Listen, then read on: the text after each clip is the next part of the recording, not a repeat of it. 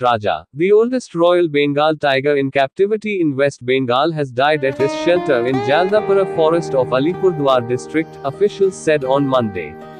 Raja's 25th birthday was marked with gaiety last year by the Forest Department on August 23, the day he got a new lease of life in 2008 after surviving a crocodile attack, an official said. Raja did not show any symptoms of serious illness in recent times and the vets diagnosed the cause of his death as old age related problems, which may surface all of a sudden, Chief Wildlife Warden Dibal Roy told PTI.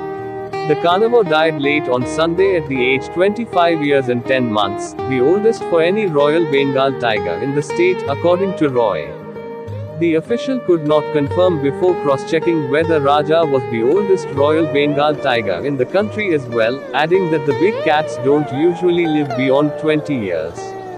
Raja, who had been taken to the South Khayerbari Tiger Rescue Center since 2008, walked on a prosthetic limb after the original got severed in the crocodile attack while swimming across a creek in the Sundarbans, the official said.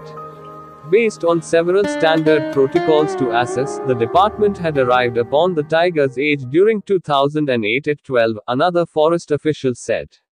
Raja used to respond to the call of his keepers and the vets who looked after him, according to the official. He was like a child. He seemed to understand everything.